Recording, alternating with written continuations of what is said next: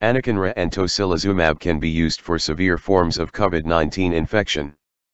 Professor Dr. Batu Erman, a member of the Department of Molecular Biology and Genetics at Bogazici University, made important statements about the COVID-19 mutation that appeared in the UK and sat on the agenda of the whole world. For many years, she continues to work in the field of genetics and immunology of cancer after working abroad and in the U.S. National Institutes of Health NIH for about seven years, returning in 2004 to continue their research in Turkey Sabancı University Professor Dr. Batu Erman joined the staff of Bogazici University Molecular Biology and Genetics Department last month. Stating that he will continue his studies in the field of cancer immunology and treatments, Professor Dr. Batu Erman also explained the drug studies for COVID-19. Speaking about the B117 mutation, which emerged in the UK and caused great concern all over the world, exactly when COVID-19 vaccines were introduced in millions of people. Professor Dr. Batu Erman stating that the most feared thing is that a serious mutation happens before large-scale vaccinations, but that has not happened for now, he said. Of course, all these vaccination studies didn't start from scratch. There was a vaccine study against the SARS virus, but it was not concluded because it did not turn into a pandemic. Which approaches will be used in the vaccine is more or less known against viruses. The critical point here was how quickly this virus spread, was a virus that could turn into a pandemic, and mutated. But many viruses are already mutating. This mutation in England also appeared before the widespread application of the vaccine because the most feared thing was that new mutations would appear after vaccines were introduced. But of course, it doesn't mean that after vaccinations, there won't be a new mutation that could escape the vaccine. That's why antivirus drug studies are as important as vaccines. Millions of cases increase the rate of mutation. Pointing out that viruses use the human body like a test tube, Professor Dr. Batu Erman gave the following information, when a person is infected by a virus, the virus uses the human body as a test tube. He wants to reproduce himself. For example, if a person was exposed to 10,000 virus particles the moment they were infected, assuming that this infection also lasts for about two weeks, during that time the virus continues to replicate in the body. In fact, when we look at the genome of the virus that came out of the body with the first virus entering the body and infects another person, we can see that there are differences. In other words, the virus is mutated inside the human body. Under pandemic conditions, when millions of people in the society are infected, the mutation rate also increases. Because everyone is a test tube and everyone creates different mutations and infects others. That's why drug studies are important. In fact, when we say coronavirus, we should not only focus on vaccination studies. Because it is necessary to develop drugs that will minimize the time the virus spends in the body and suppress itself from reproducing in the body. Will FMF drug be a cure for COVID-19?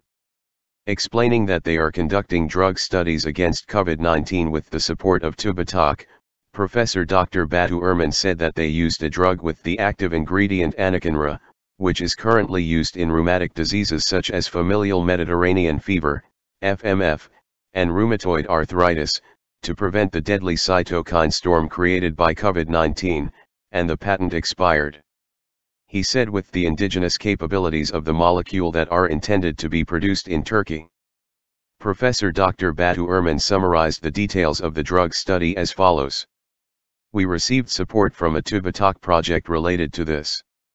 This is an interdisciplinary study. We are working together with Professor Dr. Ahmet Gül from Istanbul University and our colleagues from KOC University and Bismillah University. What we want to do is to suppress the inflammation, cytokine storm, in the lung cells caused by the virus in COVID-19 disease and caused by the excessive reaction of the immune system. This is actually a protein called anakinra and a molecule previously on the market as a medicine. It is currently used for various inflammatory diseases. But we think this will have a new goal, and there are clinical studies on this subject in different countries around the world. Our goal this protein and similar proteins and Boğaziçi University in Turkey, as well as using the facilities of other universities and also by establishing a partnership with two pharmaceutical companies can manage to produce on an industrial scale. Explaining that the cytokine storm occurs as a result of excessive secretion of the protein called interleukin-1, IL-1, released from the blood in the body against infections and it is aimed to suppress this protein with anakinra, Professor Dr. Batu Erman said, as we have seen so far, this we can make similar molecular. Professor Dr. Batu Erman, who also carried out a study to strengthen the immune system with another project they conducted jointly with Slovenia supported by Tubitak, said that they aimed to produce nanobody, antibodies, obtained from llamas or camelids synthetically and use them against COVID-19. Punctuated. We are working on llamas obtained from animals and proteins called nanobodies, antibodies, from camelids. We can produce them in the laboratory using different systems, using both bacteria, yeasts, and human cells. In nature, llamas actually make these antibodies biologically. But we are trying to make biotech products. In other words, we produce and purify these nanobodies made by llamas in the laboratory. We focused on similar goals with these nanobodies. Because they also target the IL-1 receptor, which makes cytokine storm.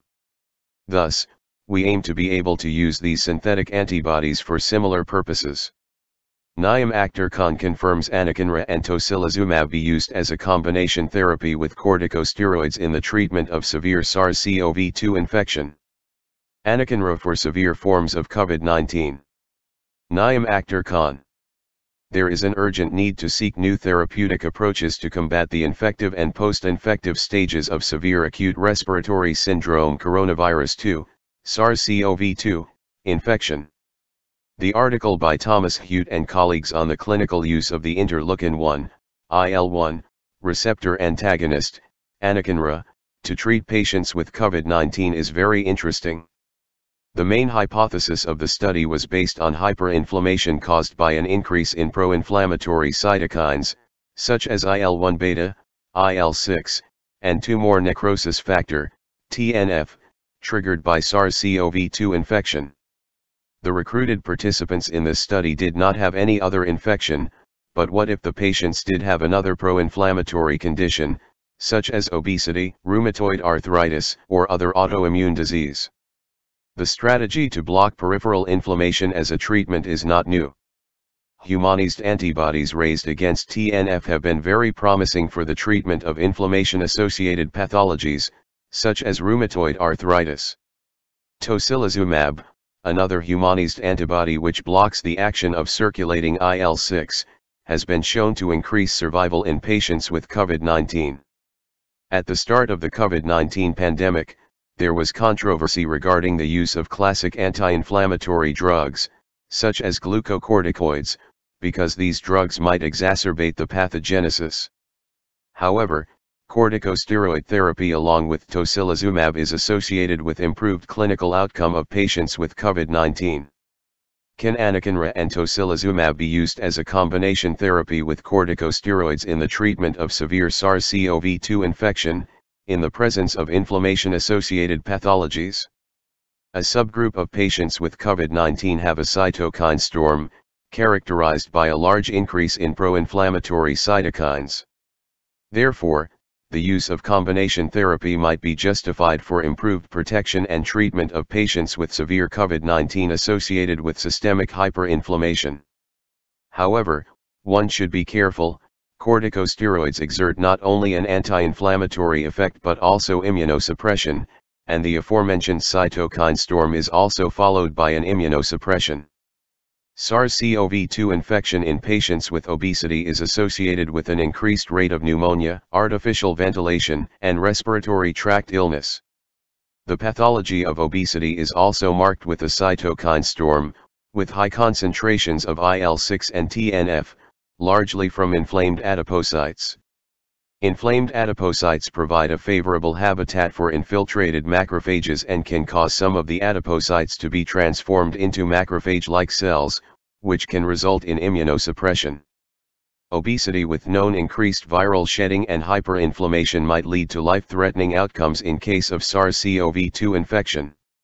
The question regarding the use of anti-inflammatory drugs in patients with COVID-19 patients remains